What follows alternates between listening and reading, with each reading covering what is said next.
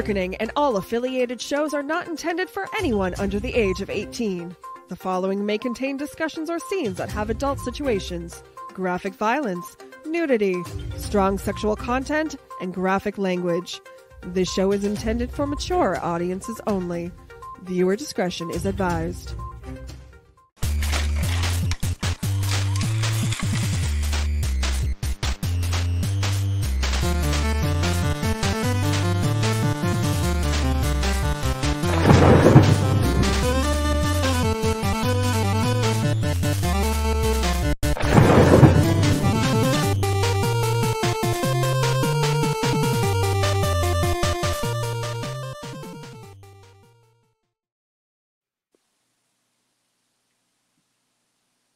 We are now live on Indie Creator Spotlight, powered by the Dorkening Podcast Network. We got an awesome show scheduled for you today.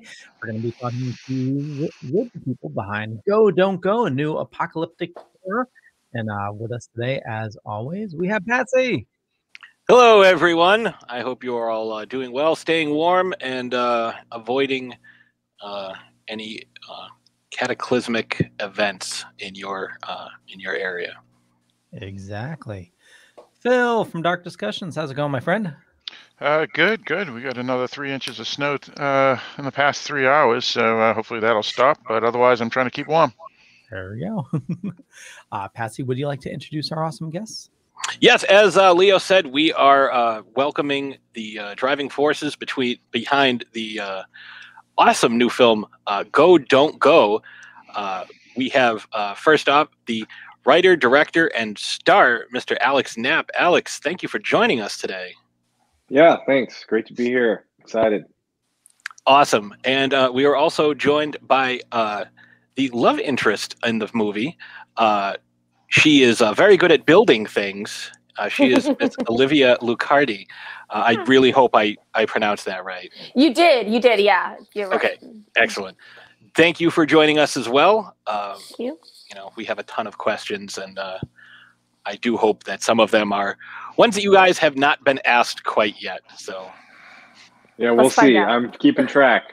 all right, I figured you would. I saw your notepad and your and your pen earlier, like your big red Right. marker. Uh, we do have the trailer also, so we'll be playing that as well. Uh, Alex, would you like to give a synopsis of Go Don't Go? Uh, yeah, sure. So, uh, Go Don't Go follows um, uh, Adam, uh, who's a wallflower and happens to be the last person alive. Um, and it's kind of a film about the uh, his descent into madness and kind of the yearning for a lost love that was never allowed to blossom. Um, so it's kind of a post-apocalyptic uh, thriller that's really about a love story. And uh, when was this filmed? Uh, we filmed in the spring of 2018. Okay. Mhm. Um, so a few years ago now. Um, you know, these small indie movies take forever, and uh, the COVID filming actually help. went. Yeah, and then yeah, and then COVID happened, and things kind of got a little slow as far as distribution and whatnot. Um, yeah, we filmed the, the movie a few years ago, and then we spent about a year in post production. Uh, and then last year we were on the festival circuit, um, doing a bunch of different festivals. Uh, and then COVID happened, things slowed down a little bit, and then the movie was released uh, in January on January 12th on VOD platforms everywhere. So it's here we are now. It's been a few years, but we're excited that it's out in the world. Uh, totally. And uh, for VOD, it's available on Amazon, Vudu, iTunes, Fandango, YouTube, and I'm assuming more as well. Uh, Yeah. Watching actually, I thought it, you might have filmed part of it during uh, COVID because uh, you would think this is the type of movie you would film nowadays. Yeah, uh, it just kind of ended up being, um, I don't want to say a happy accident, but just kind of coincidental that, you know, um, both kind of the subject matter and the way we shot the movie is is kind of how you would maybe shoot a movie now and, and kind of topical for kind of the quarantined lifestyle that, that a lot of us have been living the last 10 or so months. Um, but yeah, we definitely shot it in in you know a scaled back uh, contained way. And, and I've talked to a few people um, on other shows, kind of that it, it it's just kind of ironic that in the way we kind of shot the film would be probably how you would have to shoot it indie currently. Um, just with a small crew and and most of the crew was contained and living together in a bubble. And uh, we had a big property that we were shooting on about 500 acre property that we shot the majority of the film on that was super contained and we didn't have to kind of worry about the outside world. Um, so we're very prepared to make a movie right now if we had to uh, and, and, you talk about the way it was shot you know it's i, I don't want to give too much away but as i'm watching it, it, it definitely makes you think as of is this all in his own mind? Is everything actually happening? And it, it's, yeah, I had to talk to the guys afterwards because I was like, I was totally lost. But Phil, Phil explained it for me. yeah, and it was good because the question that he asked was about a part of the movie at the very end that I had just, literally, just seen when the message popped up on my phone. And I was like, well, I'm glad I just saw this when you asked this question because otherwise you would have ruined the movie for me, Leo.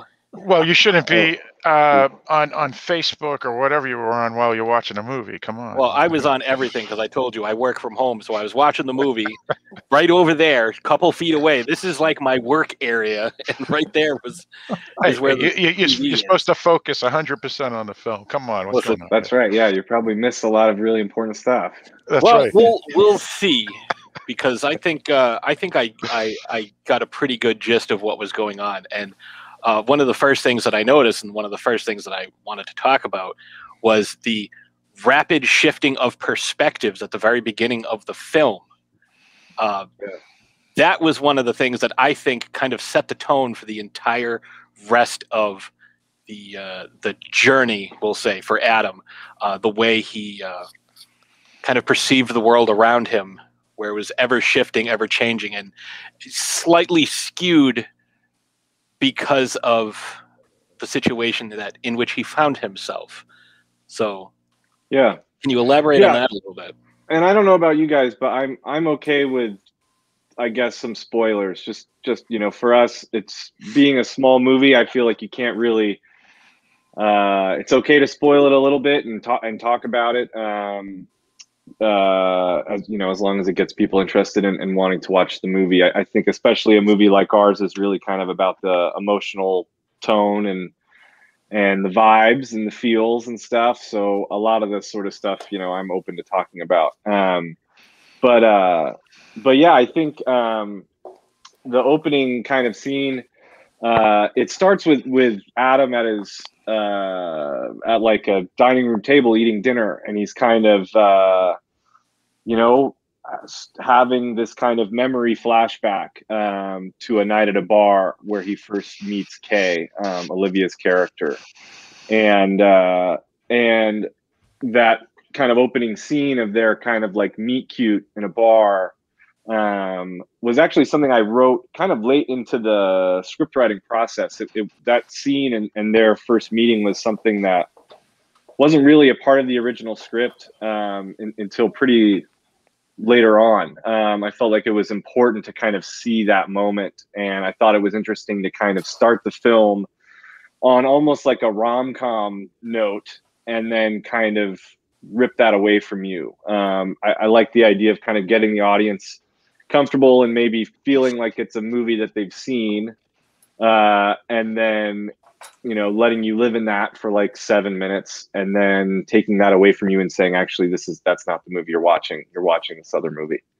Um, and you know i think it was also you know when we started talking i started talking to olivia about about acting in the film um, it was kind of like okay like i need to make sure there's some really good scenes here if she's going to be in this and i want to start the movie with with her um, and put her right front and center. um, so you know a lot of that um, thought process went in there and then and then yeah like a lot of the we kind of wanted to set the tone at the beginning of the film too with a lot of the kind of flashback past present future drifting in and out of memories to know uh, that there's almost like not just one timeline yeah, mm-hmm. like multiple timelines and kind of strange things happening and and strange editing things happening and kind of bizarre jump cuts and and that's what I was sound, referring to.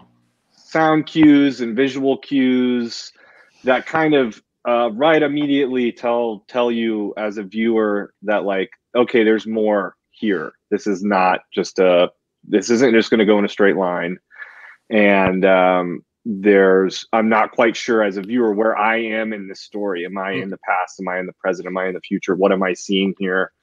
And we felt like if we could lay that groundwork early, um, then it would kind of prime the audience to be uh, more receptive to it as as we went on, and and to kind of be able to build on that through the film. And I definitely think that that was uh, something that was done well because you get to see uh, little little cues as to exactly how long he's been around. Uh, you know, doing this daily routine. You know, writing himself letters and you know to anything to feel some semblance of normality. But like some of the things, you can tell that he's got this slow descent into, you know, this lonely depression because he's got you know not closing the car door at the beginning, like giving it like that half-hearted effort. Because even if you're you know, really upset about something, you always, you know, you make sure your door is shut, you make sure the window is closed, like the light is turned off when you leave the room. So that was that to me was kind of like a very strong shot right there to show exactly what his yeah and what his mindset is. Um, one of the things that I, I I really liked was getting to see you know the rapid transition of like your guys' relationship your character's relationship in the film where like you're never really sure exactly what is going on but you can tell that like certain time has passed and like you you kind of highlight different relationship milestones mm-hmm. um you know up to and including you know whatever this cataclysm is that we don't find out which i kind of like you know i like when it's not like this is what happened aliens came and beamed everyone ab- aboard but Adam was in the bathroom at the time, so he didn't get taken. Like, you know, yeah, you know, which is pretty close to what. Yeah. pretty. Little did you know. Yeah. You're oh, right. right. You're, you're, the first you're one. right there. Yeah. Um, but I mean, I, I don't need to know what happened. I because I'm not looking at the. It's not the story of this cataclysm. It's the story of how he yeah. is dealing with this, and you know what you were talking about, like the passage of time type thing. Um, the first thing we see him doing is you know kind of swirling that that uh that whiskey bottle uh, whiskey glass around. And then we see it later on and there's just this track that has been etched into the table after yeah. so many times so you know we're also seeing like the uh, the the light bulbs. Like i thought that was really cool. Like there's no people left but we have this light bulb graveyard. Like i thought that was really cool if I could ask a question um, to you folks, um, I, I, was wondering. Um, now we, we, mentioned that Alex is a loner and, and a quiet person even prior to the apocalypse, and then um, Kay, when when she comes in and uh, is set up, you know, they, they they hit it off really well. The question I have is was was Adam okay with no with apocalypse happening as long as Kay was still with him. Not because he didn't he I guess it was evil or anything like that, but just for the fact that he didn't relate to people in general except for Kay. Yeah, that's an interesting question. I think um, that's that's tough. I mean, I, I guess I never really thought about that. Um, I think definitely, you know, he's he's a loner. He's shy. He's socially awkward. Um, this is kind of his a big kind of first big real adult relationship for him and and I think they were when everything was kind of going down they were kind of just trying to make their way out of it together and I think you know obviously uh, had had they made it out together and and had Kay kind of survived and they existed together um, he definitely would have been happier um, uh, than being completely alone, you know. Um, but I definitely think in in their situation, like they just didn't know what was going on. You know, no one really knew what was happening, and and it's uh, not necessarily that he had like a choice in the ma- in the matter there. So, um, I mean, he probably would have been happier, obviously happier w- with her being there with him at the end, and and uh, um, but I don't know if I'm sure you know things would have been still pretty miserable had it been just the two of them and no one else. You know, maybe they would have figured something out together. But Kay was much more of a doer, so she probably would have uh, tried to actually figure out what the hell was going on and, and try to solve some solve some issues. Um, and that would have maybe presented some other challenges for Adam. Olivia, what do you think about that? I think that him being a loner kind of like so he's already a loner he meets kay and then after then you know something happens and it's just us and we're fighting for survival. But then you know him being that loner and being there with kay and not wanting to lose the one person that you've really truly connected with i guess in the first time in a long time that it could be I don't know, that could be one of the reasons that he's sort of like trying to f- find her, get to their ending in a way, because it's like that the idea of her is still the only thing he's latching onto of like that's still the only connection he really has is with Kay and um Nore. Kyle. Thank you. Thank you. Um so you know it's like I don't know. I thought it was an interesting question. See, I I nice think theory thought based on you know uh, if I you know just my interpretation. You know, obviously I'm not telling you guys you know what's right or wrong, but based as a viewer, if I if Phil had asked me that question as I'm watching it, I look at the scene where the two of you talk talking about like one thing on a desert island. What could you have? And he says Kay. You know, and he but he does it in an awkward way, like oh, because I really like you, but it's like, yeah. oh, because you're good at building things and you're smart. You know, like he's got that awkwardness, but that's his way of basically saying, like, I would want you there because you're the only person that I would want to be with aside from maybe Kyle. Yeah. Um, yeah. And there's a level I, of foreshadowing there for sure. Yeah. So and, I think and sorry, go ahead. Yeah. Yeah. And I think, yeah, I guess if connecting those two dots makes Phil's question uh, make much more sense. Mm-hmm. And I think that that's yeah, that's definitely um, a big part of it. Well, so uh, oh, go ahead, Leo. Sorry, I've been uh, actually. Um, no, I was going to say we do have the trailer. I'm going to play this. Uh, so go, don't go. It's out now on VOD on Amazon, YouTube, Fandango, Vudu, iTunes, and I'm sure more after we play the trailer, when we come back, uh, we'll do Patsy's question. But I want to hear from Olivia what drew you to this part. And Phil, you've been raving about this movie for so long. I want to know what what do you love about this movie? So uh, here we go. Here's a trailer, assuming I can find the right button uh, for go, don't go.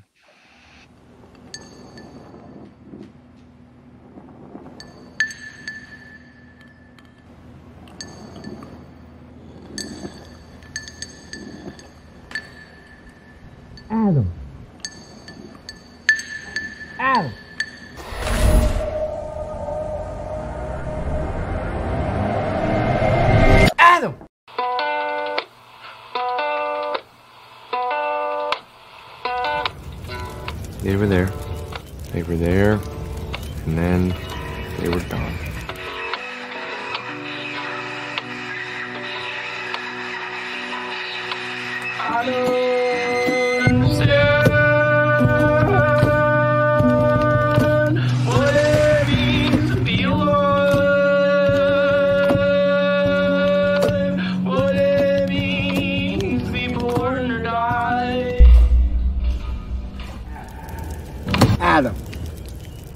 Yeah.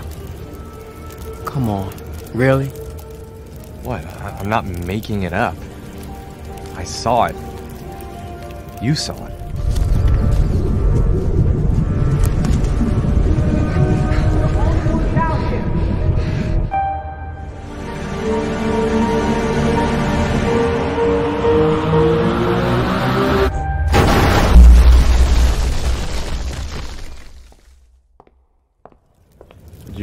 I told you I didn't know how I got here?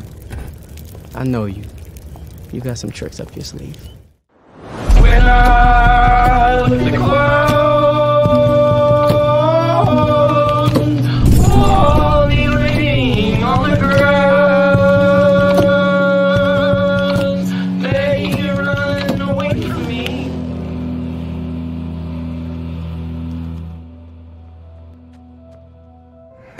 Of you is the only thing keeping me alive.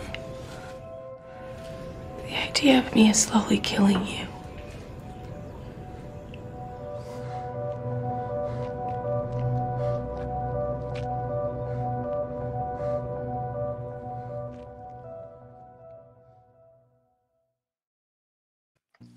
That's Go Don't Go. Like I said, it's available on VOD, Amazon, YouTube, Fandango, Vudu, iTunes, and I got a bunch of information on the show notes as well. So, Olivia, what drew you to this part? So, um, Alex's girlfriend is a childhood friend of mine, and she reached out to me on Alex's behalf, saying that he wrote a script and would love to talk to me about it. And so I said, of course, and he sent it over, and I read it, and we sat and talked about it, and I just, besides the fact that the skeleton crew that he put together was fantastic. Um, and Frankie, who's the cinematographer, his work was great. Like, you know, his Instagram proved kind of proved it. And then we talked about it and we just were on the same page about how we were feeling about it. And also something about it is just I like films that really um sit like in time and kind of play with that and just really give you this feeling of life and a clip of life and that natural for some reason I want to say in like impregnated moment, but you know where like you feel it all. I don't know. It just seemed like it was a great project, and I'm glad that I was a part of it because it ended up being amazing. Uh, can't agree more. Yeah. So, so Phil, I, I know every time we brought this up, you, you kept on raving about it. What, what do you love about this movie? Yeah, sure, sure. Uh, I actually just wrote this one paragraph to because I wanted to not screw it up when as we were watching the trailer. Um, so, as Patsy mentioned, his interpretation of what he sees as a viewer in the film makes the film a film that can be interpreted in many different ways, depending on each person's individual experience in life. Whether people or viewers do quote unquote performance of symbolism in their own lives, as Adam does with the light bulbs, for example. Such things as visiting a gravestone is symb- a symbolic gesture, and Adam's life is full of so many different symbolic moments that he does intentionally. And just like visiting a grave, it keeps memories and one's personal virtues alive in a sense, and done in an art house way, but also in a science fiction genre film, which is a fairly unique uh, way to do uh, I guess, a drama. And so I, I felt that is what kind of um, makes it an interesting film because every person who sees it will get a different aspect of what they think Adam's existence is and what's in his mind based off of their own personal experiences. Bro, did Or- you just write that really right during the trailer? I mean, that that's a pretty prolific Bravo. paragraph to be writing out of nowhere. Phil's Phil's a good writer. Yeah. Yeah, yeah. He's like, I got this. Hold up, I'll tell you. You want to know Thank how I looked Phil. at? I will let you know. Hold on. Sorry. yeah, I, I, don't- I don't want to, said. uh, uh, you know, if I just think about it, then when it's I'm on the spot, I'll forget everything. So I said I'll just write it all down. So Very well. thank you. Phil's You tell that you review shit. Jesus. Uh, you know. Phil, I'll, I'll totally agree with you. uh, Watching this movie, you know, and I absolutely loved it as well. But you know me, I'm an idiot. So I, no, you're not. you know, as I'm watching this, I, my mind was going everywhere. You know, is it a figment of his uh, imagination? Is he schizophrenic? Is it really happening? You know, uh, is it ghosts? You know, it, it's just everything was flowing through my mind, and and I love movies like this that they keep you guessing right until the end. And even at the end, I'm I you you can interpret it different ways. At least I hope you can. If you can't, then I, I'm still an idiot. I don't think you're an idiot, but I will absolutely say that there were uh, there were aesthetic choices made in certain, let's call them cosmetics, that if you paid attention to the overall aesthetic of what was going on in the film, you could tell what was real and what was not real. Interesting. well, I think that um and oh shit, I'm about to lose it all. Hold on. I think something about the film, though, that with a lot of things and being able to interpret it in your own ways and everything else is this idea of the unknown. You Mhm. don't know what happened. You don't know what's going to happen. You don't know the end of it all. So you kind of have this fear of the unknown, which everyone can put their own interpretations within it. Um, talking about the movie Go, Don't Go, Sharon. Um, anyway, sorry, saw that. Thought I'd answer. Thank you for that. Well, But, That's uh. Perfectly fine. but um you know it's that feeling of unknowing and aesthetic choices and everything else but i think alex leaving it sort of this open-ended thing that it, it does we don't know or maybe he does i don't know we're i Well- have an idea in my head we all have Yeah, our I don't ideas know. apparently, Yeah, so well, let me add to what either let, let, let me add to what Olivia just uh, said, which is, um, and it's the, specifically the the scene that Leo and, and Patsy were talking about earlier. And what it is is um, when he, meaning Adam, sees UK or Olivia Yeah. um, at the end of the film, the question is, are i- is Kay really there, or is it a figment of imagination, or is it something even more than that? And um, I even uh, asked you uh, once, Alex, that maybe well, the girl at the end, Phil. The girl at the end is a different actress. no, no, no. I don't mean. I don't mean So you're saying In the- redhead. in the I don't mean the redhead. I'm talking about the shed. The shed. Yeah, right. Uh, so what, what I'm saying is is that he's meaning Adam still could have saw Kay as in a sense because I mean one interpretation that that I we talked about in a podcast I did for Halloween Boutique Psychotronic Reviews was that um it could be even like like a spiritual thing and and she's there spiritually or it could just be maybe it's his mother you never know See, I was I was referring specifically to a choice that was made uh, in certain scenes. She's got green nail polish, and other scenes. This guy's has picking red. up on stuff. yeah Me? actually i don't think anyone's really brought that up in any of the interviews Me, I told you I paid attention. Might Yeah, have doing some other work, but you noticed something no one else did, really. Yeah, there's there's a few uh, Easter egg things like that, um, and just to kind of cover this whole thing, I, I think that was definitely a, a part of our intention. Was uh, you know some of my favorite movies are films that when they're done, you want to talk to your friends about them for hours because mm, things aren't, weren't just told to you totally Mhm. and there's a debate there and there's discussion there and there's room for interpretation and there's room for you uh, as a viewer to participate a little bit in how what what are the answers to the story um, and so that was definitely something we wanted to do and and um, so i'm glad that that came across. You know it definitely is like feeling even some of the things leo said about is he schizophrenic? Is he crazy? Is this pat you know is this future? I think as long as people can um as long as that doesn't frustrate people and some people that does frustrate them. Um and and you know i'm i'm aware of that that you know this film isn't absolutely for everybody and some of those things of not giving you all the answers will be frustrating um but you know our hope is that people who have all these things racing through their heads that they can find what feels right to them and what connects them to the story um, and that can kind of carry them through you know whatever that kind of emotional connection uh, that they decide upon for us is like totally valid um, and yeah, like whatever that kind of is like for you to put yourself in. yeah whatever the makes missing piece. You know, all I'm here to do is like lay all these breadcrumbs out and give you all these puzzle pieces. And if you can put the puzzle together, um, and it looks one way, but it looks a different way to someone else, like that's okay.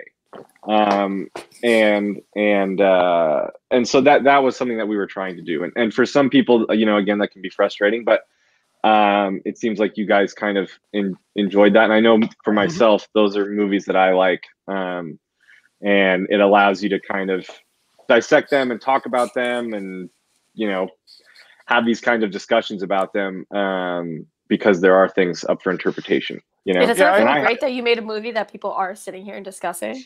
yeah i mean Yeah. hey Uh, yeah, I, I mean, I, I was thinking, you know, that that it was uh, a sen- sensory experience rather than an actual corporal uh, appearance of Kay. we Kay. go. You. There we know, go. and and that's where where what I, I'm thinking he was doing, which is and and that was his way of uh, be able to, I guess, move on. You know, so So wait, did we Yeah. explain the nail polish? Did we explain it? Can we? Are we allowed to? Yeah, for sure. Yeah. like, so yeah. the nail polish So- that Patsy talked about. Yeah, go for it. So green, basically, a way to know it's a memory and, a, and an illusion of Kay is green is she's a real person and it's memory. Red is when she's an illusion, and that's her saying stop, kind of Don't for go. him like stop. Yeah, the whole Yeah. go don't go. Oh. Right, it's all right here. No, I'm just kidding. And there's yeah, I there's am I green, really bad nail polish now, but green and uh, green and red symbolism throughout the whole film. Um, I mean, like for example, one thing, one little Easter egg there with green and red is like his morning routine every day of like that montage of him doing all these things. Green so the first few few times you see it as a green toothbrush, and then right at the end, before we get to the shack scene, we cut to the toothbrush sitting there, and it's a red toothbrush. Um, so things kind of change from green to red throughout the film, and her nail polish changes green to red, and there's kind of some other kind of color aesthetic green to red stuff um, throughout the film, which yeah, it just kind of echoes that go, don't go, the check, the X, the, the the different paint Yeah. he was using, and the map, and and all of that sort of stuff. but I just love those to kind of subtleties in there Mhm. in that Yeah, film. there's a lot of them. I give I give you a thumbs up for that one because uh, I I I should have got that with do, go don't go green and red you know stop and go and I didn't I didn't even catch that that's pretty Well, Come that's- on, and I think you're that's- slacking, Phil. I know, that's I a know. good What that's am I a sign of here, good storytelling where you're so engrossed in the story that you're not able to kind of you know look Realize at all these up weird things. Continuity. It was really a continuity mess up. Then we just had to go with it. I'm just kidding. Yeah. Well, so, Well, yeah, that's what that's what I thought you were going to say, Alex. That it was some of it is happy accident. I remember there there'd be times on set where it'd be like, okay, hey, we're shooting this scene. Like, oh my god, what's your nail polish color? Like, what are we gonna do? and Like, we were oh just my like God, pile it Do on. we have top. nail polish? Like, quickly switch your nail polish. Like, we have to shoot this in five minutes. I remember there was like one time where I was like, I can hide my hands. I was I'm like, yeah, just I- don't shoot her You're hands. like, don't shoot her no, no, hands. no, we'll, we'll fake it. I'll get a hand model. Yeah, I'll just hold everything like this. Like, Well, and that's the thing that I like about you know this type of film is you only know as much as Adam knows.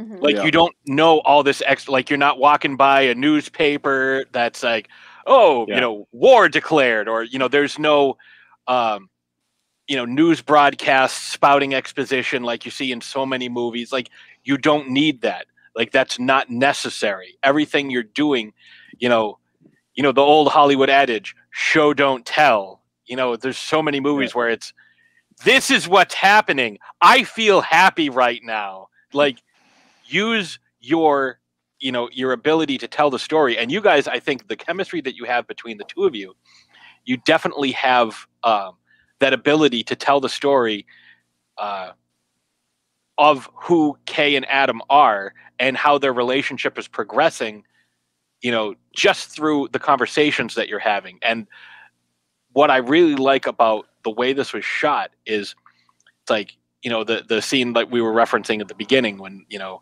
Adam's outside had a cigarette and Kay's just like you want to put that out and close your tab? And it's like you know there's that unspoken like yeah let's head back to my place type of vibe And there was like not- a hidden wink there. Like, but she's not like hey do you want to go have intercourse because I would like to have intercourse like you don't need to do that like I mean, you that's guys what I were usually to ask at the bar, but he was Yeah. telling me to say this. So, I know. I had to tell her to tone it it was down. so unrealistic but you guys were like i'm saying like you guys were able to convey this you know this this progression of the relationship without being overly expositive like you guys did that with your talent in your craft of acting and i really appreciate movies like that well, And thank I- you very I much think- for that.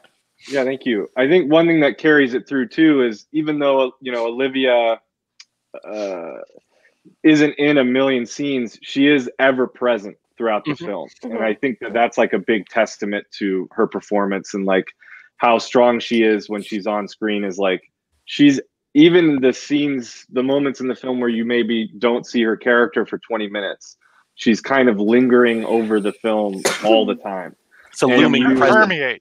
I, I, I Yeah. said permeate. I think in my, when I was talking about Yeah. the film earlier. Yeah. and you're aware of her presence and her character all the time and um that's just kind of a testament to to olivia and like the economical nature of her presence it's like you you she can be in only 10 scenes and it's like she's in the entire movie and you're never you're kind of thinking about her all the time um so It's almost like that she's helps. the main protagonist. Yeah, so that definitely helped, um, uh, which is just totally a testament to her and and her ability for sure. Thank you. Well, I, I'm like, I- okay, I- guys. I, I have a question for Alex. Did you find there was uh, a lot of conflict between, say, the director, the writer, and the lead actor? Like, were they going back and forth a lot, or Yeah, were they pretty much always on the same page? let me tell you, all three of those guys were assholes. Okay, and hard to work with. Uh, I concur. No, I'm just kidding. Yeah. uh, yeah, no, it was definitely uh, unorthodox, I guess. Um, but you know, in certain ways, it was it was super helpful, and in other ways, it just definitely necessitated like a level of adding more resources to certain things. I mean, I think um, writing it definitely helped me play Adam, um, just because I knew the material so well, and I kind of knew the uh, emotional beats so well. Um, and uh, and then obviously writing it and, and directing it, it's like I knew I could kind of visualize the whole movie while I was writing it, and I wrote it in a way that I knew I could shoot it, and I wrote it with. I wrote it in kind of an unorthodox way. It's not like a super traditional script. It's very much like a lot of kind of prosy, poetic exposition and a lot of visual language, which is not super traditional for for a screenplay. Um, but I knew I was directing it, so I threw that all in there and kind of made it real, a lot of flourishes and things like that. And then on set, it was like I just had to kind of put a bunch of talented people around me um, and make sure that you know those people that were when I was in front of the camera and my DP Frankie Toriano, who I've worked with for ten years now, was behind the camera and uh, my producer Max Gardner and and uh, you know other people that were on set, uh, producer Derek Brown and and uh, you know that they knew what was in my head. We had talked about it. We went through months and months of pre-production, and and I could trust their opinion. Um, uh, you know, if somebody we shot a take and they said we needed to do another take, I I would say no, go fuck yourself. We're not. I'm I'll be in my for lunch. trailer. I'll be in my trailer. Um, I'll be no, in we my car. would, you know, we would shoot another take, and and um, so that was a lot of it was just kind of surrounding yourself with other talented filmmakers who are kind of all directors in their own right. Um, and that you trust. I mean, I think that's yeah, for any sort of like being in as many positions as you were. It's so important to find, as you're saying, yeah, like a trusting crew that you can give your like creative ideas to and know that they're going to execute them properly while you're in front of the camera yeah, and stuff like that. Totally. And then also, you know, again, casting Olivia, it's like a no brainer. You know, it's like I, she could just carry me through those scenes. Um, so I, you know, just wouldn't have to. Uh, it's like everyone's just watching her anyway, so I can just stand here and just, you know, say whatever, just read the lines off the off the cue cards or whatever. Um, so. Now, uh, Alex, uh, was was this film specifically written for you to direct, or, or were you trying to sell it as a screenplay at first? Yeah, I wrote it. I wrote it for me to direct. Um, more, even more so than to play Adam. I think originally. Um, I definitely wrote it as something I wanted to shoot um, and wanted to direct, and that was kind of part of. You know, I, I think I definitely like shared the script around with a lot of people in the industry and got a lot of really, really positive feedback from it. Um, but you know, I had a lot of people say like, "Hey, if you're trying to sell this to someone, like you need to format this in a much more like rigid, standard way because it is very like." Like I said, it's like a lot of kind of visual flourishes, and like I'm talking about camera movements, and like I'm talking about things like that. And, you know, it's so Um, interesting though because I think that was one of the reasons that I did like it. yeah, and that's it, that. the flourishments make you really more put you in the uh, Yeah. yeah. in the idea of like I'm really seeing the world that you're creating here and the moments, uh, the sitting moments that I fell in Yeah. love with, you know, and it's like, Yeah, it was kind of interesting how that worked because like I had a lot of people telling me that like that's not the standard screenwriting format, yeah, which like I know. more technical and Yeah, which I know. Like I went to college for screenwriting. I've written very standard, rigid scripts. You know, where like the writer isn't really supposed to put their like creative stamp on it in a way. You know, you're supposed to leave those things to the director and whatnot. But I also, on the other hand, like the way I wrote the script is why everyone got involved and like why Olivia wanted to do it and why we got funding and why. So in a way, uh, it's like, yeah, yeah. This, it was written the way it was supposed to be written. So, um, but yeah, I wrote it to direct it. Um, didn't necessarily know the whole time I was going to act in it, and that just kind of ended up being the the way we went with it. So, so in other words, the flourishes in the screenplay were almost like uh, those those pictures that that like some directors do to show. All right, the door opens this way. Yes, Yeah, thank you. That's what I'm looking for. You it know- almost sounds like that. Is that is yeah, that or right? even like, uh, or even like, you know, like one thing I'll I would do in the script is I would actually like put the song in. So like at the the kind of um, scene at the end with the shack, um, I had in the script I said like this song starts playing, and like these lyrics you're hearing these lyrics. And like I would write the lyrics out almost as like they were dialogue of another character. And like that's like a big no-no. Because like in a normal situation like picking a song for a scene is for the director to do and you have to get the music licensing and Also, can't you just- never know if you're gonna. Yeah you never know if you can get that song and blah blah blah but like with me it's like i'm going to put the song in the script i'm going to tell you what it is i want you to look it up on youtube i want you to listen to it while you're reading the scene um and you had a so tho- playlist, didn't you? yeah had like a whole spotify playlist Yeah. and a lot of the songs were on there that you like sent me a Spotify playlist. in the script and and so I definitely wrote it yeah in a way that uh it was like almost like a shooting script for me. It was like camera directions and and uh you know little like emotional things that you would maybe would be like for an actor to interpret or or or a director to interpret I would say like you know Adam sees this and he's feeling this. Like he sees this and he feels this inside of himself which uh you know a lot of times that that sort of stuff isn't in like a more traditional screenplay Makes sense. Olivia, how much uh, did you improvise and how much did you go right off the script? Like, did you guys play off each other a little more, or was this what we saw? What was in the script? Um, well,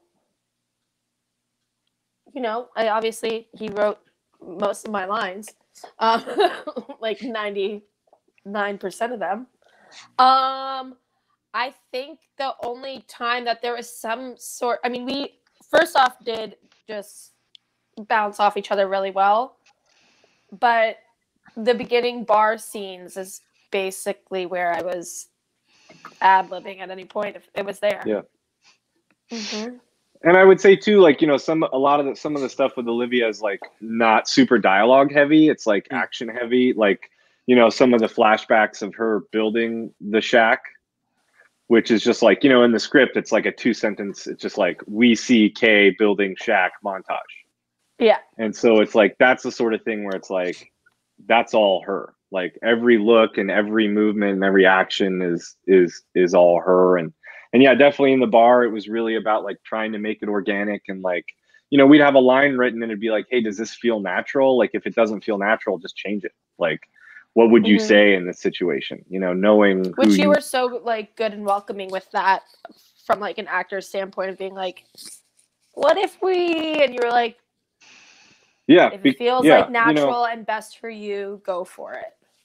and that definitely comes from like being an actor like uh you know it's one thing if like you are doing shakespeare or to kill a mockingbird or something and it's like okay yeah like this is you're here to do the words bro like Yeah. um but with something like this it's like what i want is just a natural performance so it's like if you're going to say something to somebody as long as you can get the idea of what i'm trying to get across to like push this conversation where it needs to go then like say whatever is natural and like how how you would say if you were this person. And Mm-hmm. if the you know if what I've written doesn't come out right, then just like fix it. Mhm. Like the Um, whole "I want to have intercourse with you." Do you want? to Yeah, that was intercourse?" written, and it was like, why don't you say this? And Yeah, like, that's nat- that's how- That's how humans talk, right? Yeah, Human. yeah. Uh, Yeah. I definitely think you guys had a had had some good chemistry, and there was um, like you could definitely tell that the characters uh, cared deeply for each other. Like they had their their little specific like hand holding thing that they did, you know, and the you know resting your head on the shoulder, and you know all these like little these little things that you know as you you know if you're in a committed relationship for any period of time like you and your partner develop like these little idiosyncrasies that you're not going to see from someone else like these little like these little bits of uh, public displays of affection and i think the fact that you guys you know this is this movie is 90 minutes and you guys don't have a ton of screen time together and the screen time that you do have where you're you know where you're uh, kind of playing off each other with that type of intimacy is even less of a percentage of the runtime, but you're Mhm. still able to get it across. I think is a testament to, uh, you know, not only how the script was written, but like the acting ability that you guys brought to it. And I know I mentioned that already, but like this was something else that I noticed that I really like kind of honed in on. So like my wife and I, we have like little stupid things that we do, and you know, you guys, if I were to, to take a guess at how long Adam and Kay were together, I would say between six months to a year would be my guess uh, because they moved in together and you know they had these little quirks that kind of played off of each other um, and i think it helps that you guys knew each other prior to this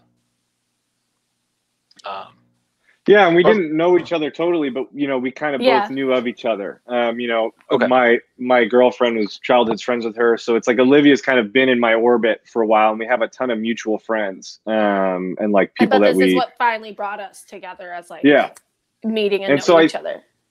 I think a big part of that was like knowing that we had a bunch of these mutual friends. It's like, well, obviously we're gonna get along because I have a bunch of friends that are her friends, and she has Yeah. a bunch of friends that are my friends, and we all like each other. So like we're de- we're gonna be friends.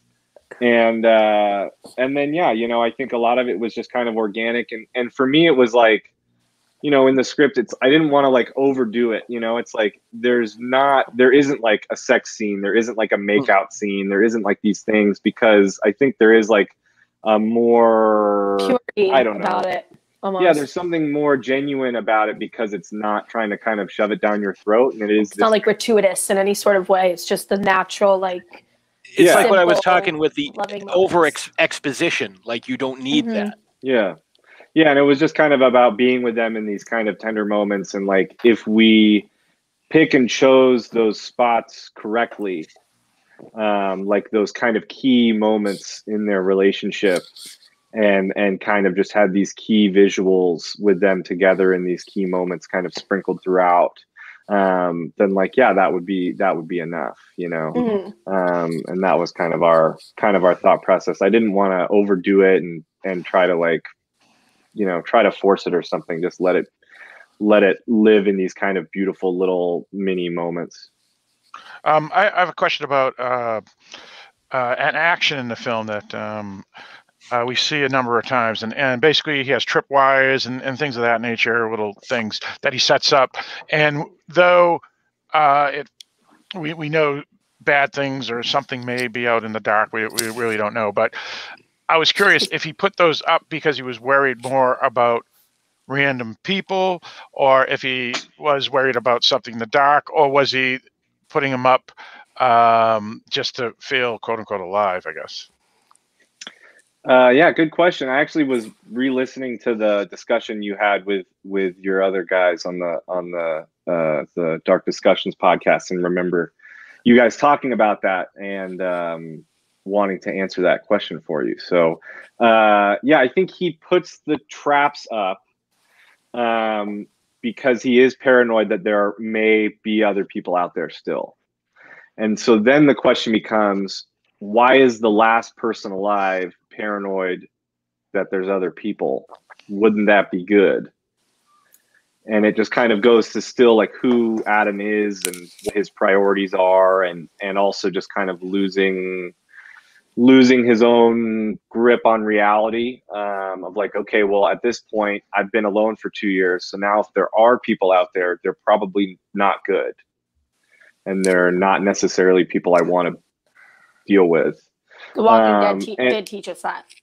Yeah, Yeah. I was gonna say that. The longer or you like the survive, road the, the road ones or that do are something crazy. Yeah, the Yeah. road is another great example. you know it's kind of like well now that i'm the only one around like if other people do show up like that's probably going to be a problem like it's probably not going to be good what have they going to do to survive? What are they gonna yeah. do to me? They're gonna take my stuff. And, and, and that's the reason why when we d- discussed in, in the Halloween boutique, the spin-off of Dark Discussions, the that Hope probably was watching him maybe for a long time before she finally decides to uh, make an appearance, maybe because Yeah, there's a- people are, are bad in the post-apocalypse. there's a level of that yeah and you guys even talked about he stumbles upon this campfire that's still smoldering Mhm. and it freaks him out. And there's this kind of push and pull through the first half of the film of like uh not only for adam but also for the audience of like are there other people out there? So like weird things are happening to him. He's noticing weird things. He thinks he's seeing weird things. Things are confusing him. And at the same time the audience is kind of like is there someone there? Like wait a minute that door just opened or like wait a minute how did that get there? Or like who's doing this?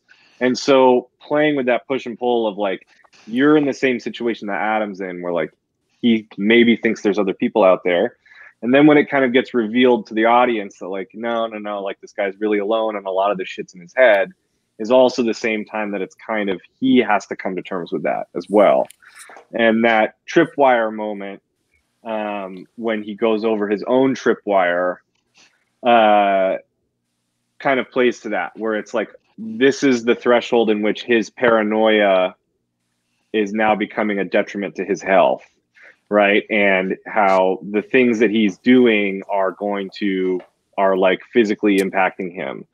And like he's set up tripwires everywhere in the forest and if he's not looking at his map every two seconds like he may walk over one and then he goes back to like his little safe room and looks at the map and kind of says like yeah there are tripwires here bro like and uh and then it's like well why is he putting all these tripwires up on the mountain that he's also trying to get to?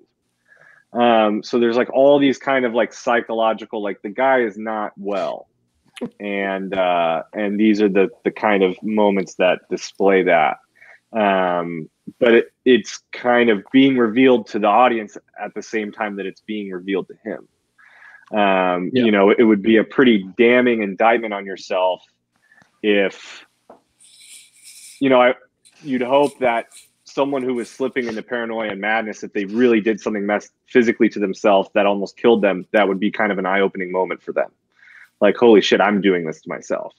Uh, i'm gonna kill my i'm gonna blow myself up out here you know thinking i can do all this shit you know and just being a paranoid and setting all these booby traps or whatever um so there was a, a level of that as well um but I also liked your kind of interpretation and, and and one of your other co-hosts saying, you know, that he's maybe setting traps for whatever's out there, and and I think that's true too. You know, it's like he is setting traps for whatever's out there. He doesn't really know what's what's out there. See, I, I. I saw it as um, it was a kind of con, kind of a combination of what Phil was saying about, you know, the other girl kind of watching him, and as she's watching his patterns, she knows, okay, he doesn't go into any of these places that are marked with red X's. I can hang out in these red X places and kind of keep an eye on him, and the combination of his, you know, fragile psyche that is giving him these auditory hallucinations to kind of cope with his loneliness coupled with the fact that she's you know she tries to make contact with him multiple times but kind of chickens out at the last second Mm. every single time uh you know only kind of fuels his his uh his madness and his sense of dread and foreboding and i think she's doing more harm than good up until the end of uh, of the film Interesting. that's how i looked at it I that's very good. I like that. uh, I can't say that I that's I wish I had put more of that in the film. Uh, well, I you think know, there's I- a lot of it which is why i came yeah. i came to that conclusion Yeah, I think that yeah, that end character is definitely like I think it plays on so many different levels, and it and and Mhm. and for some people, it will kind of throw everything into question and be like, oh my god, was she was is this a person who's been around this whole time and kind of been all these things that he was seeing, and is his paranoia of someone being out there justified? Um, and and and then also just all the other kind of metaphorical things that that character at the end represents. hmm Yeah, it kind of reminds me of the the quote. Um, uh, only sane men question their sanity. Madmen are always completely assured of their rationality. The fact that Yeah. he kept questioning himself is what led me to think that he hasn't quite lost his mind. He's on his way, but uh, I do have one other question. And so after he he uh, triggers the tripwire, and the branch lands on his leg, Mm. he reaches and finds a hammer. So I'm curious as to how the hammer helped him get out from under. Like, was he did he use it as like a fulcrum and kind of? yes yeah there's a up? whole like we shot like a 10 minute scene of that i had this idea where it was like uh it was like okay he's this tree's gonna fall on his leg and just to be like a real like uh you know auteur filmmaker you're gonna have to spend like 15 minutes with this guy as he tries to get his leg untrapped from this tree. And you're gonna be there for like 10 minutes and it's Hey, gonna be like DiCaprio would do it. agonizing and excruciating and like boring and like serene. And he's gonna get like tired and not be able to get his leg out. And and finally after like 10 minutes of sitting there and it's gonna be like the most boring scene you've ever seen in your life because that's art you know? And uh, so we shot that and then in the edit we're like yeah no we're this is this is way too long. And uh, yeah i don't know who you think you are terrence malick or whatever. Uh, that's gotta go. So yeah he grabs the hammer and he just gets himself out of there. But yeah I original I was looking at that and I was like, okay, this is going to go one of a couple ways. He's going to kind of wedge that under, use it as Yeah. leverage to kind of slide Yep. his foot out. He's going to Yep. use it to dig maybe, or he's going to Combo saw style it and smash his foot so he Ah. can pull it out. One of Yeah. those three things. it was more of like a the way you did. yeah full it was like a fulcrum and a digging to get the foot out but uh yeah we ended up just kind of you know sometimes you're in the edit and and uh you know best laid plans and and your intentions of doing one thing and and pulling one thing off. And then you get in there and you're like you know what? Like we have some really nice momentum right now. And as cool as it would be to sit with this guy for 10 minutes as he tries to untrap his leg do we really need it? Does it really help us? Is it really is it really telling us something in the story that we don't know? Or or is it really sending us on the path of where we want to go? Um and I think it could have uh, worked. It could I, have worked I, I think what you Director's did was Director's fine. cut. it's yeah. four hours I- long Right. I- well, no, no. I mean, you could have actually put it in and just had more flashbacks of Kay and you to uh, Adam together or something, and and, and it would have worked that way. But obviously, if Yeah. it's just ten minutes of watching them do it, that that would be hey, true man, art house. You know. art house films baby If you hadn't filmed it though, I think you would have you would have regretted not filming Yeah. it. That's the thing. You just use some of that stuff, and there were some scenes like that. You know, like um, one of the longer takes in the film is the scene after that where he's walking home and he kind of walks down the road, and we hear all the voicemails Mhm. that he's left himself. Which I love. Yeah. people don't really realize that that that walk itself is like two and a half, three minutes long, um, which is very long in kind of film terms without you know a long one take shot. Yeah, that's three Um, pages of a screenplay right there. Yeah. Supposedly. So or one sentence, Yeah. you know, one sentence that can be three minutes. Yes, you never that's know. true you know? too, It's like he walks down the road. uh, that that scene there really really nudged it to me that y- you might have been schizophrenic because you tell yourself you know just go through the shop and just pick it up you don't have to go through line you don't have to wait there just pick it up and go you know and and i thought you were giving instructions to yourself you know and that that's where it you know is really teetering for me and uh Patsy you mentioned uh, auditory hallucinations Mhm. uh, also the grocery store you know you keep on hearing the ding of the like the the scanner and uh that that really threw me off as well See that that whole thing in the grocery store towards the end though was really like you could feel him kind of losing his grip, you know, dropping the wine bottle, then, you know, the almost desperate, like clean up on aisle one. Like he knows no one's going to answer, but that hope and that desperation is still there. And then the attempt to open the door, and it's like, why don't you just pull? or or or, or pull the just door open. I, I still think it was just symbolic uh, moments that he was trying to do to make himself feel alive and has nothing to do with him going nuts. But that was my interpretation. See, I, like- I th- and I saw it completely different. Like, right, right, exactly, yeah. That's a, a a- a sign of a well told story. Like, we're looking at this. sa- We're looking at the exact same thing, and we're getting two totally different. But neither one, neither one of us is like, no, you're wrong. But Right, it's like, right. you could be right. Maybe I'm wrong. Right, Like, right, right. Yeah. And I think you're all right. I'm here to give you the official stamp of approval that you're all right. Well, you, you know what is right is this movie is simply amazing. That, Mm. that that's one thing we need to Thank you. say. And uh, definitely, you know, we urge everybody to check out Go Don't Go. It's out on VOD, uh, Amazon, YouTube, Fandango, Vudu, iTunes, just about everywhere. Uh, is this getting a physical media release? Because a lot of us like to collect the physical media. Yeah, on Amazon you can buy a Blu-ray or a DVD. Um, and uh, I think at this point, I think they printed like I want to say 20 to 50, and I think the Blu-rays it says like on Amazon temporarily out of stock, but if you order it, it tells them to print more. mhm. basically. Um, so uh, so yeah, on Amazon you can get a Blu-ray or a DVD physical copy, which is really cool. Great to and know. Totally I something know. I Is there- didn't even know. And, and is Surprise, there uh, Olivia. and is there Yeah. extras or anything on on those discs for for folks who like all the extras and stuff? I don't think there is, unfortunately. Um, you know, part of that sort of stuff is just up to the distribution company, and and there were some assets that we had built, and that it's kind of up to them what they throw on there and what they don't throw on there, and some stuff we didn't finish till it was too late.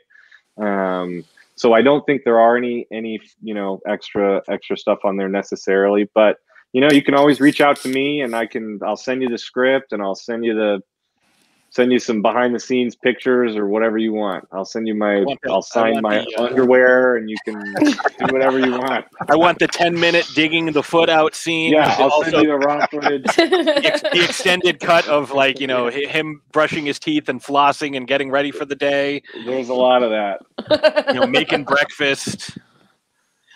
Uh, I know we are running on time, and I apologize for that. Uh, but I just want to make sure we covered a couple things before we let you go. Um, so this here, uh, Alex, is um, according to IMDb, and you know IMDb is always right. Uh, but this is the first movie that you've directed, correct? Uh, correct. Yeah, the first feature. Okay, so so absolutely knocking it out of park at for this one. What's next you. on your list?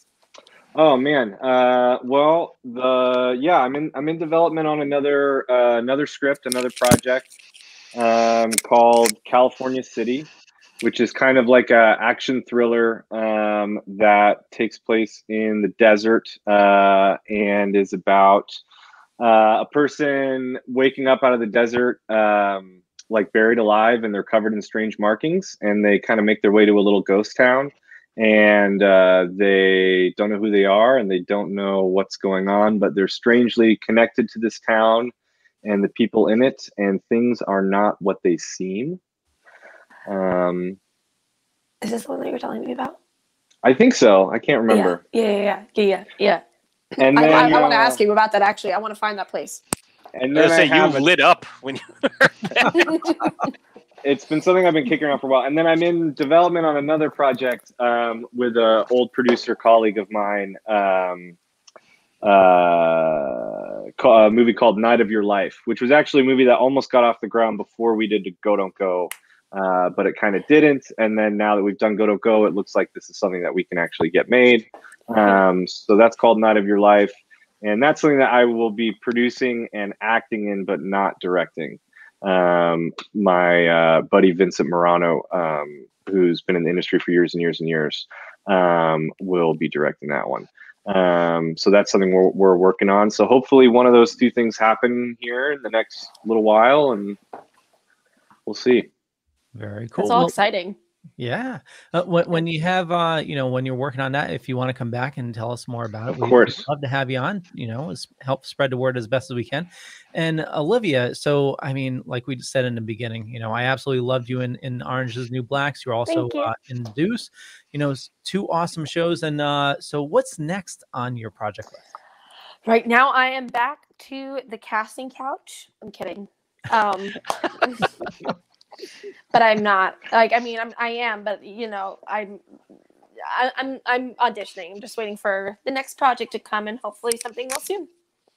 You know, fi- things are finally picking back up after, you know, lockdown and quarantine and rampant And Olivia, COVID. Olivia had a big year of releases. You had like three or I four did. movies released back to back to back. She had Go Don't Go, Paint, The Violent Femmes, The what?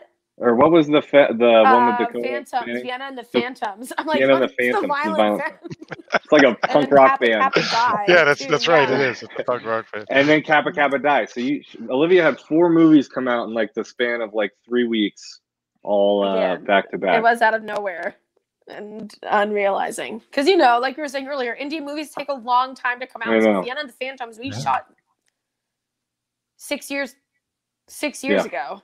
Yeah. So that coming out was very um lackluster. So so yeah, sometimes you shoot things in different years and then they all come out Oh, yeah. together in the same month. Yeah, like we- oh, so like the Vienna movie. I mean, I w- got a text from one of the actresses from it, and they were like, "Wait, did it actually come out?" And I was like, "No, it's out. Like I'm watching it right Yeah, now." She's like, it. "No fucking way!" And I was like, "No, it's really out. It's out. it's finally out. We made a movie together. Yay!" Well, oh, yeah. don't feel bad about that because last year we covered two movies that were filmed in 1980 that came out last year. Yeah. Both Yeah. were I 1980s. can't One- complain. Yeah. One was eight. Yeah, one was eighty-seven. Yeah, and the other was what 85. It's a Yeah. long haul. Yeah, it is. No, eighty-three because Gri- Grizzly Two that took forever Okay. to come out, Oh, Yeah. and the then one, the one in 87 though was was crazy because they they lost the the archives of the film and they found it and they had it finished by Skywalker Sound. So Yeah, and they like- did the 4K restoration by Yeah. Paramount because they both happened to get Wow. jobs later on working for these companies. Yeah. Nice. yeah, so That's it has, amazing, though. oh it, it's uh you know another inc- incredible indie film is uh you know because it has the 80s feel but you know the Yeah. polish of of movies today. Yeah, that's awesome. That It was an um, 80s take on 50s sci-fi. Yeah, it was uh Nice. Siegfried's Brain. The was it? night they saved Siegfried's brain, House Yeah. Sitter. Yep. Nice. Check that out. Yeah, totally. It's it's really good. What's that on?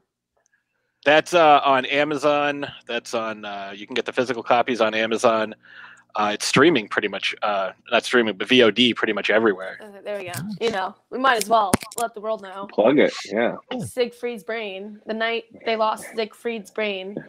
Like they saved Siegfried's Oh, there we go. They saved it. Yeah. They didn't lose it. They saved it. Wait. Uh, well, along with that, we we definitely urge everybody to check out Go Don't Go. Like we said, it's available on Amazon, YouTube, Fandango, Vudu, just about everywhere, iTunes even. Uh, so uh, just uh, do a Just Google buy the physical copy. Yeah, well, yeah, physical copy on Amazon. Uh, Yeah. we have information in the show notes down below or above if you just want to be lazy and just click. Uh, very easy for you to find.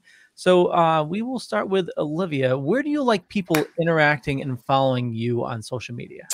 You can find me uh, mostly on Instagram, which is at Luchardii, L U C H A R D I I. I'm Olivia Luccardi. People mess up my name a lot. I owned it. So that's my Instagram. And Awesome. that's the best place to find me. I'm on Twitter as well under the same thing, but I don't really check it at all. Yeah, Twitter. Twitter's a vile, evil place. It is. It's a cesspool of hate. Uh, how about you, Alex? Where, where do you like interacting with your fans? Uh, yeah, Instagram uh, is probably the number one, which I'm just at Alex Knapp, uh, K N A P P, and uh, and then also uh, just redid my website, uh, which has a bunch of work on it and has some. Yeah, it's nice. I, I checked it out today. It's nice. Oh, thanks. Yeah, so the website is uh, alex-nap.com. Um, has a bunch of work on it and has uh, California City and Night of Your Life, some upcoming projects, has a little some blurbs about those things as well. So uh, Sweet. Yeah. It doesn't have any pictures of you though, really. I was I was Uh, looking yeah. for 'em f- to put in you know the liner notes of Oh, my yeah. episodes and stuff, and there was none. Yeah. So- Yeah, you know. Snag them from don't know. IMDb. That's what I Screenshots, do. know. screenshots. Right, Yeah, right. I There don't you go. know. There you go. I feel like weird putting pictures of myself. I don't know. It's gonna imagine me trying to edit a movie of myself. It's, it's difficult. You've seen yourself too much for. for Yeah, I'm like that Put some, needs put to some uh, vanity away. quotes in the in the the the DVD liner, like, "Oh, the most handsome actor I've ever directed." Yeah, I was exactly, expecting selfies. Come on, man. I'll put the screenshot of me in the shower on the You're, website. you're on you're on Instagram, so you page. must have a lot of selfies. I don't know. Uh, you mentioned uh, IMDb. Actually, they made it di- more difficult lately to snag pictures from it, which is a pain in the Yeah, you have to use a snippet or, or you know, Yeah, uh, Just take a screenshot. something. Yeah. Yeah. exactly. That's that's what I do. Take a Yeah. screenshot. yeah, that yeah. Uh, Phil, how about you, sir? Uh, yes, um, you can find us at, uh, or me, at uh, darkdiscussions.com. Uh, it's a news network, uh, daily updates, 30 different podcasts, including uh, Halloween Boutique Psychotronic Reviews, which has two episodes about Go, Don't Go, uh, volume 15 and volume 17. One of them is a two hour critique and review of the film, and the other is interviews with both Alex and Olivia. Awesome, Patsy. You can find me uh, on, let's see, uh, Throwdown Thursday is the main show, but you can also find me here on Indie Creator Spotlight. You can find me on The Loudest Sports Show uh, every Friday, although this week it was a couple days late because of various issues and things. Um, but yeah, every Thursday you can find me on uh, Throwdown Thursday. Every Monday and occasionally on Fridays, you can find me here. Uh, you can find all of the shows on the Dorkening Network, as you can see right behind me here. Uh, you can also find me in the next couple of months on the streaming service Pivot, playing the the adorable puppet Will Mouse on the other side of midnight. Uh, and you can follow all of our shenanigans and everything that we do on throwdownthursdaypodcast.com. It's all the latest uh, articles and episodes and links to our social media. And uh, I did follow both of you guys on social media. Uh, Yeah, I saw that. Thank you. Make sure you're following Alex Knapp and not Alexis Knapp. Yeah, it's you know it's going to be similar. a hard road for me to make a name for myself in this industry, man. she's already got a leg up, and she's a good-looking and talented woman, and it's gonna it's gonna gonna gonna have to make a lot of movies to catch her up, catch up on her. Alex, maybe it's Alex is Nap. I don't know. Um, It's Alexis Knapp, yeah. Trust me. but uh, yeah, make sure you live. You know. you go and follow these fine folks as well. Thank you. Uh, totally agree. For me, just Google Leo Pond. You'll find a bunch of stuff. Could be true, could be not. I'm not going to say which is which, but It's all you true. find out. It, I know it is all true. Uh, you'll find out that I run a little thing called the Dorkening Podcast Network. We got over 30 shows on a network. You can head on over to thedorkening.com for more information. Uh, and uh, yeah, for for uh, just check out Go Don't Go. Uh, we are working on a special project. Keep your ears peeled for that. We're doing a 50th anniversary for the electric company. And uh, we got some cool guests for that plan. And, uh, you know, go, don't go. Check it out. Catch you guys later. Bye. Thanks, Thanks, guys. guys.